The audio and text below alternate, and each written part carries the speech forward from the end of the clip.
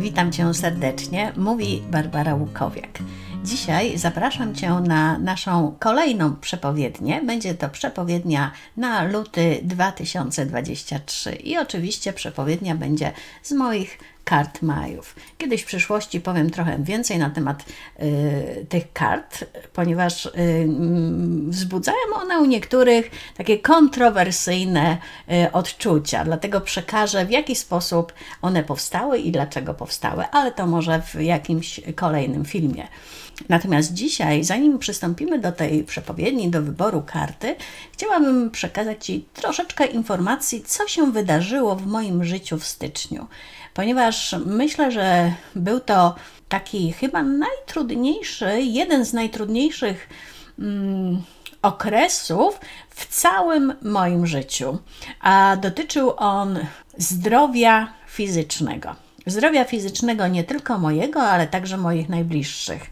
W styczniu wyjechałam na wakacje do Polski gdzie mm, okazało się, że mm, po kolei niektórych moich członków rodziny, czyli moich wnuków i mojej córki, dopadł jakiś rodzaj przeziębienia czy też choroby. W związku z tym miałam okazję opiekować się nimi.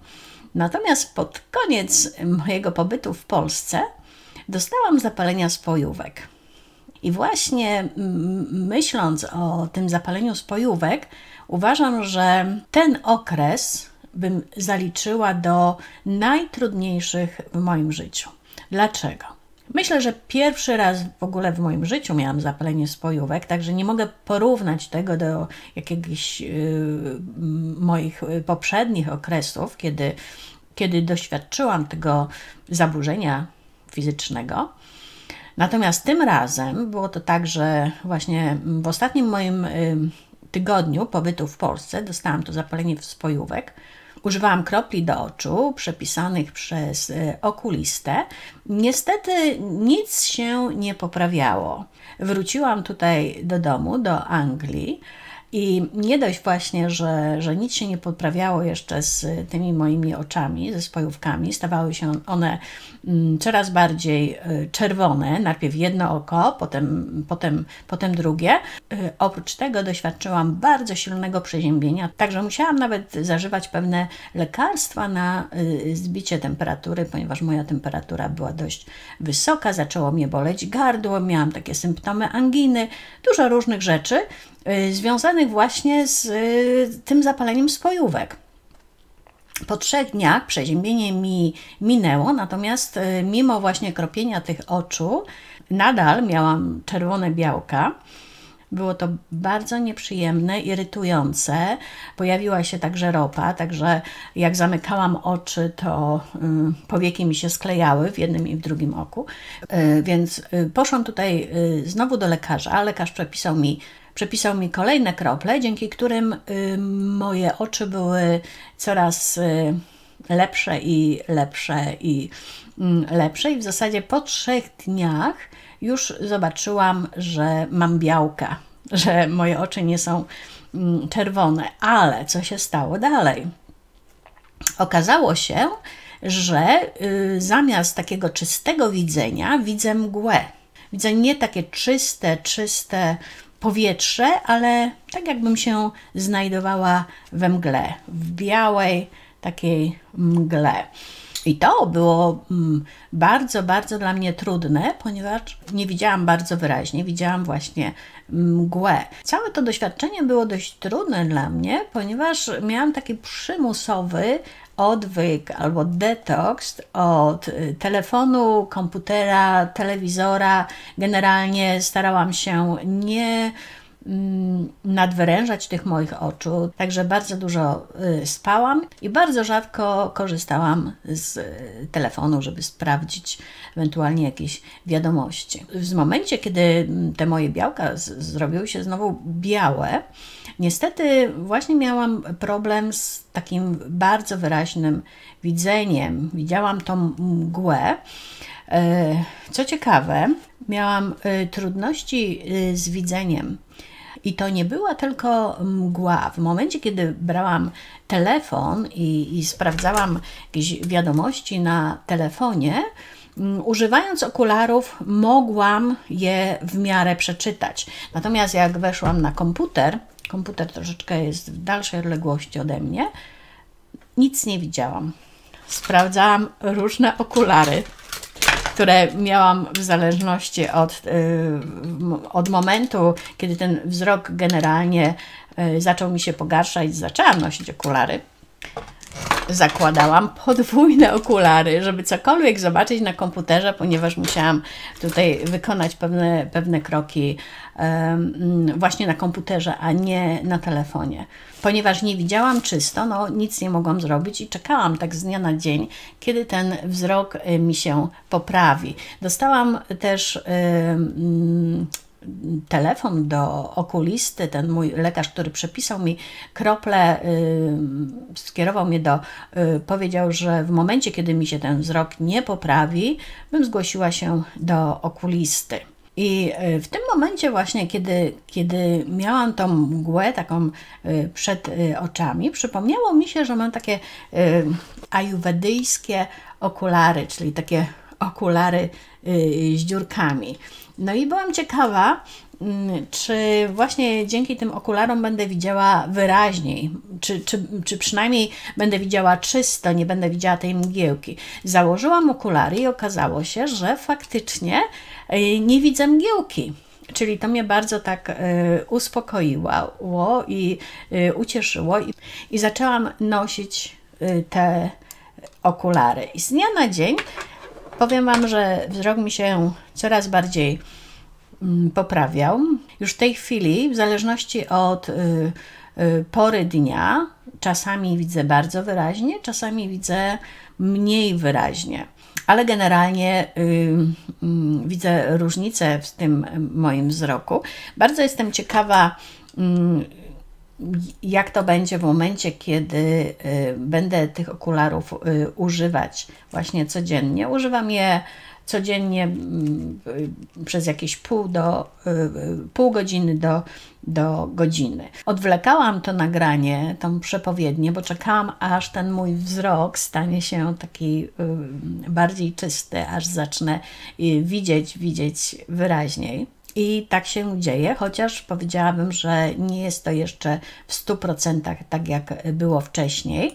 No i co ciekawe, no nie, mo nie mogę za bardzo dobrać sobie y, okularów. Te najsilniejsze okulary, które, które mam w tej chwili, to jest 2,5 plus 2,5. Mm, y, czasami mi się sprawdzają, czasami nie, ponieważ czasami są za silne. Y, także ten wzrok zmienia mi się. Czasami jest silniejszy, czasami jest e, słabszy.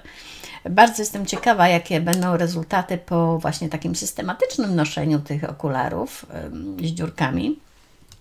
Dam Wam znać w przyszłym miesiącu, e, co się zmieniło i czy w ogóle się coś zmieniło.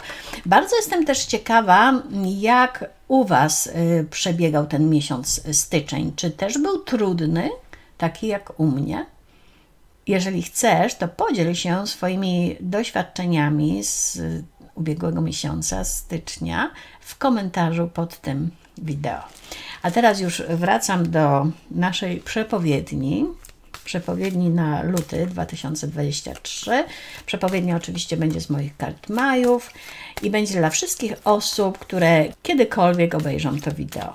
Teraz czy w przyszłości.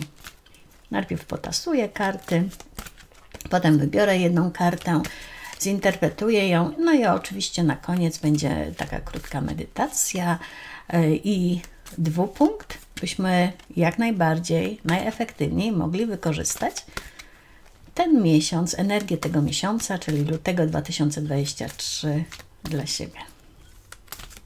Czyli karta na luty 2023. I oto ta karta. Muluc. Spójrz na nią. Może od razu masz jakieś przemyślenia, a może masz odczucia właśnie związane z tą kartą. Alternatywna nazwa tej karty to jest woda lub też ofiara. Natomiast słowa kluczowe, nad którymi możemy się zastanawiać podczas tego miesiąca, nad którymi możemy medytować podczas tego miesiąca, to woda, emocje, mądrość, kreatywność i przywództwo. Jest to znak pokoju i wolności, ale też obejmuje mm, tutaj pewne wyzwania, przed którymi stoimy, by mm, zachować właśnie ten pokój i wolność. Karta ta mówi także o spłacie zaległych długów, które mogą być duchowe, ale też mogą być fizyczne. I tutaj y, przychodzi mi na myśl właśnie mm, to moje y, zapalenie spojówek. Jaki dług miałam do spłacenia, w tym wypadku właśnie taki fizyczny dług, odnośnie moich oczu i widzenia wyraźnego, czego nie mogłam dostrzec wyraźnie.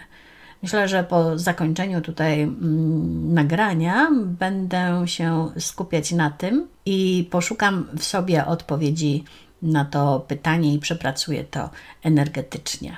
Ponieważ woda jest y, reprezentująca właśnie ten znak, jest symbolem emocji, widać tutaj wyraźnie, że ten miesiąc będzie pod y, znakiem pojawiających się takich być może dość, dość y, intensywnych emocji.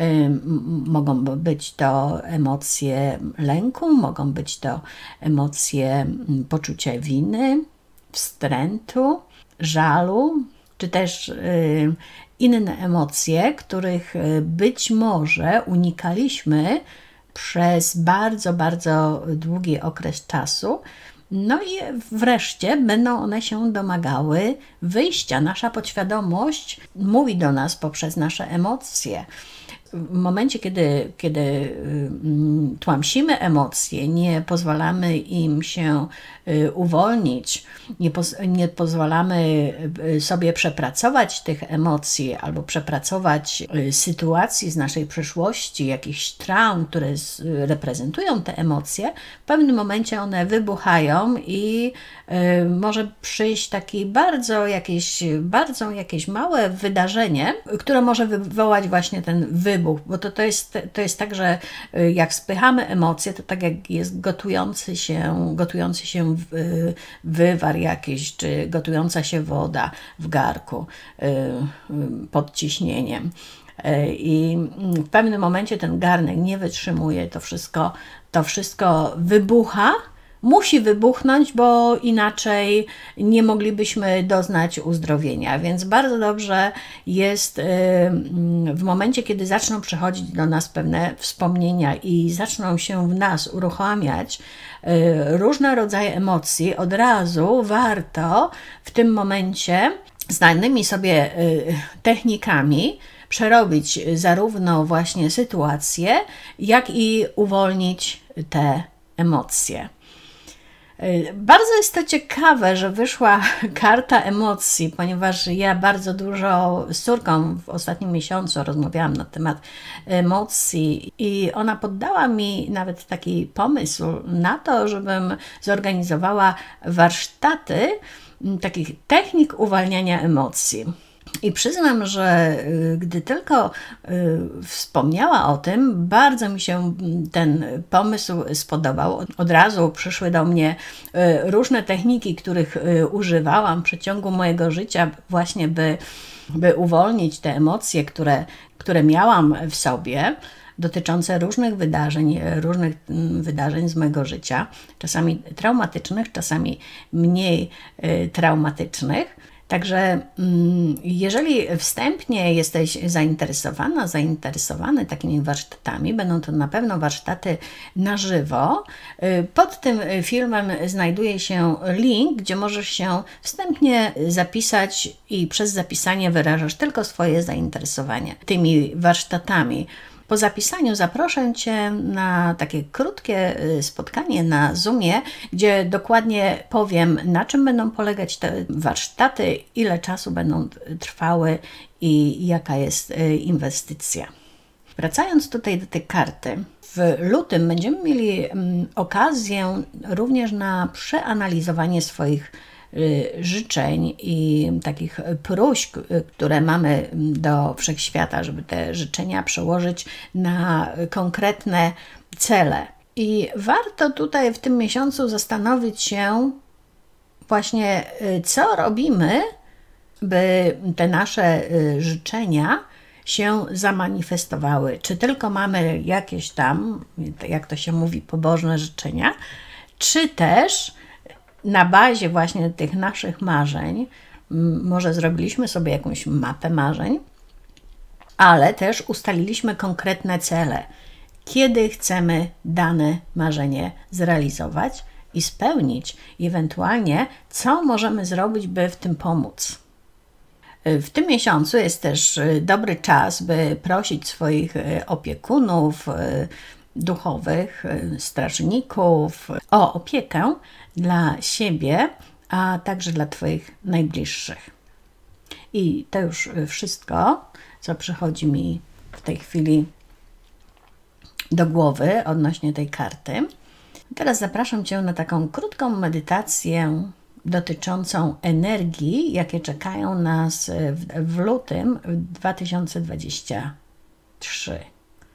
Jeszcze nie wiem dokładnie, co będziemy robić podczas tej medytacji. Tutaj zapraszam teraz swoich opiekunów duchowych i przewodników duchowych. Jeżeli chcesz, to możesz także ich zaprosić, by byli z nami podczas tej medytacji. Jeżeli chcesz skorzystać z tej medytacji, usiądź wygodnie, możesz zamknąć oczy i zacznij oddychać. Rób wdech nosem i długi, głośny wydech ustami.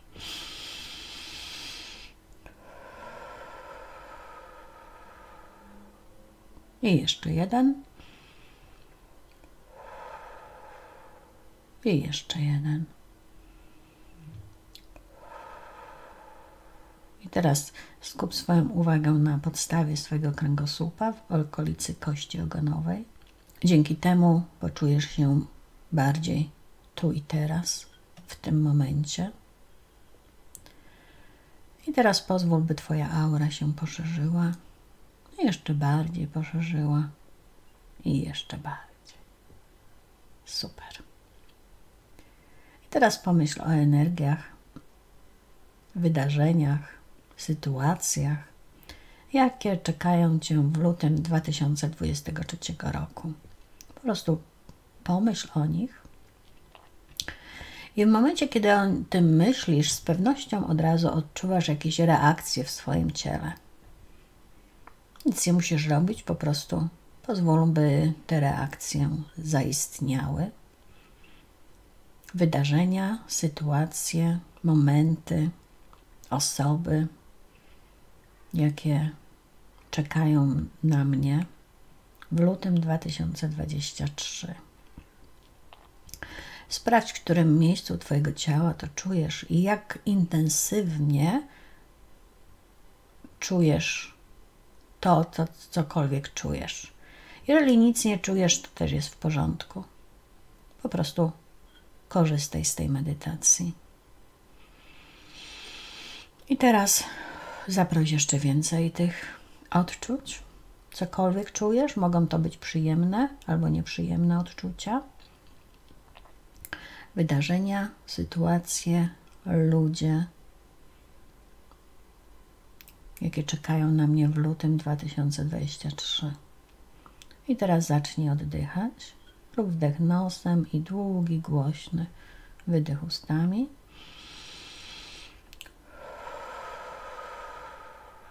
i pozwól, by ta energia, którą czujesz w danym miejscu Twojego ciała się przesunęła.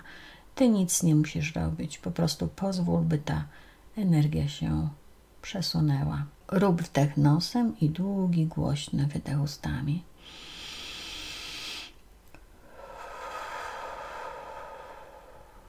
W którą stronę ta energia się chce przesunąć? Do góry, na dół, prawo, w lewo. Po prostu obserwuj i oddychaj.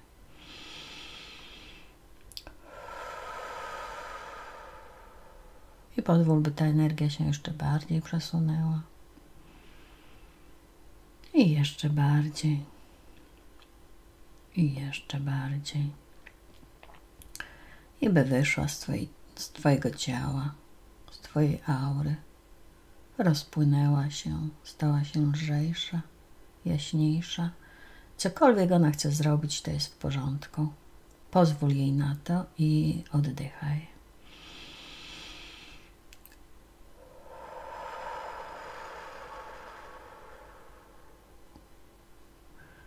Jeżeli ta energia nie chce się przesunąć, wykonaj razem ze mną pięć takich szybkich wdechów i wydechów.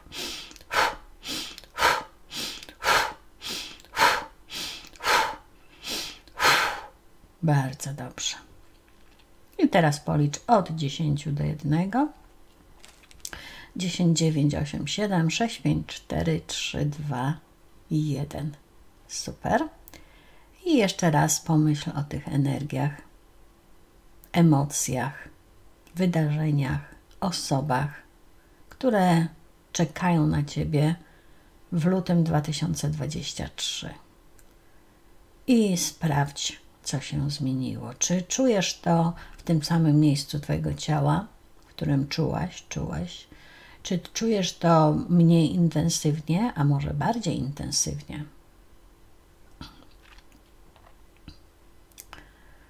I nawet możesz tutaj w skali od 0 do 10 określić, jak silne są te odczucia. Jeżeli te odczucia są bardzo silne, w zasadzie niezależnie od tego, jak silne są te uczucia, warto by było, żeby te odczucia były w mniej więcej na poziomie 0 do 2. Jeżeli tak się nie dzieje, polecam Ci właśnie skorzystanie z tej techniki uwalniania emocji, którą teraz zrobiliśmy, czyli z tej medytacji, jeszcze raz, i jeszcze raz, aż do momentu, kiedy poczujesz, że te mm, emocje, te odczucia w ciele są właśnie tylko mm, takie niewielkie 0 do 2. Bardzo Ci polecam właśnie skorzystanie z tej medytacji jeszcze kilku czy kilkunastokrotnie. Teraz może druga część tej medytacji. Poczuj wdzięczność, że jesteś, że jesteś tu i teraz. Poczuj, że siedzisz na tym wygodnym miejscu, w którym teraz jesteś. Poczuj wdzięczność, że jest ci ciepło Poczuj wdzięczność za to, że masz pełną lodówkę jedzenia, że możesz jeść, co tylko zapragniesz. Poczuj wdzięczność, że możesz robić, co tylko zapragniesz. Poczuj wdzięczność za to, że jesteś i uśmiechnij się do siebie i do wszystkich osób, z którymi dzisiaj spotkasz się na swojej drodze życia. I odetchnij głęboko. I możesz wrócić do tu i teraz a teraz zapraszam Cię na dwupunkt, na najlepsze, najkorzystniejsze wykorzystanie możliwości, jakie przynoszą nam energię lutego 2023. Jeżeli chcesz skorzystać z tego dwupunktu, jeszcze raz usiądź wygodnie, możesz zamknąć oczy i pomyśl właśnie o energiach lutego 2023 dla Ciebie. Ja teraz wykonam dwupunkt na najlepsze, najefektywniejsze, najkorzystniejsze wykorzystanie możliwości związanych z tymi energiami dla wszystkich osób, które, dla wszystkich osób, które właśnie teraz wyrażają na to zgodę. Przez chwilę nie będzie mnie słychać.